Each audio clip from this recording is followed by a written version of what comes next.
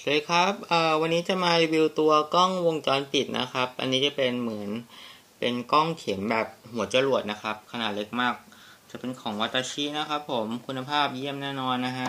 เดี๋ยวเรามาเปิดดูว่าของที่เขามีให้มีอะไรบ้างนะฮะนี่เป็นส่วนของอะแดปเตอร์แล้วก็จะมีส่วนของตัวกล้องนะครับมาเปิดดูก่อนครับ เปิดมาก็จะเจอถุงไข่กล้องนะฮะ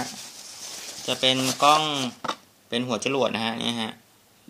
เหมือนกล้องลูกเข็มแต่มีขนาดเล็กมากเลยครับ ผม เนี่ยครับ ปลายหน้าเลนจะอยู่ตรงปลายเนี่ยฮะซึ่งมีขนาดจิ๋วมาก แล้วก็ก็จะมีแมนนวลให้นะครับ แล้วก็มีส่วนของฐานยืดแล้วก็จะมีส่วนของพุกที่จะยึดกับฐานแล้วก็ติดกับตัวกล้องได้เลยครับผมจะขอฐานมาให้ดูฮะฐานจะเป็นหมุนได้ 360 องศาครับผม ก็ติดตั้งที่ตัวแปดตูดของตัวกล้องได้เลยอย่างเงี้ยฮะเราสามารถยึดติดได้เลยฮะแล้วก็ขันให้แน่นแค่นี้ก็จะเป็นแบบนี้ฮะเราสามารถยึดติดกับส่วนของกำแพงได้นะฮะให้แน่นนิดนึงนี่ครับเราก็ขันนี้แน่นแล้วก็จะมีส่วนของฐานตรงนี้ เราก็ใช้พุกยึดติดกับกำแพงก็จะยิงแบบนี้เลยครับ แล้วส่วนก็จะมีส่วนของอะแดปเตอร์นะฮะอะแดปเตอร์ให้มา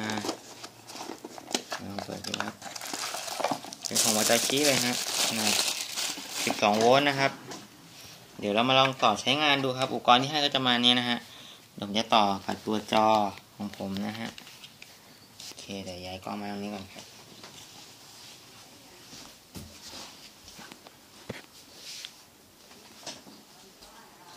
การติดตั้งการต่อนะครับผมก็ไม่ยากเลยครับ ก็จะมีส่วนของอันนี้จะเป็นส่วนของจอภาพ แล้วก็เอามาเอาส่วนของอะแดปเตอร์เสียบที่ไฟบ้านก่อนฮะนี่ครับเข้าไป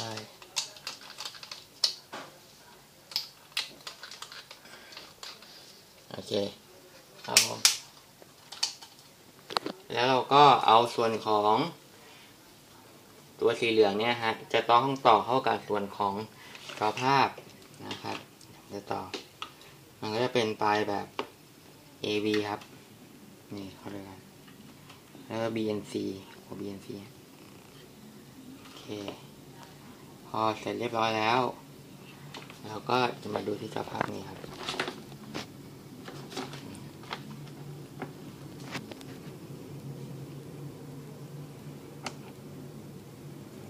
นี่ครับ ต้องเสียบไฟให้กับส่วนของอะแดปเตอร์นี้ก็ต้องเสียบกับที่จอนะฮะ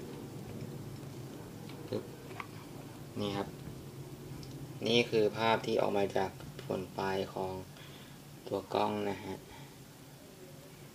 นี่ครับ เป็นกล้องรัวจะรัวแบบนี้เล็กแต่มันสามารถถ่ายได้คมชัดมาก เป็น โอเคครับผมถ้าเกิดสนใจสั่งสินค้ากล้องปลายจรวดสามารถสั่งซื้อได้ที่ w w w m a n t i s h o p c o m ของมากครับ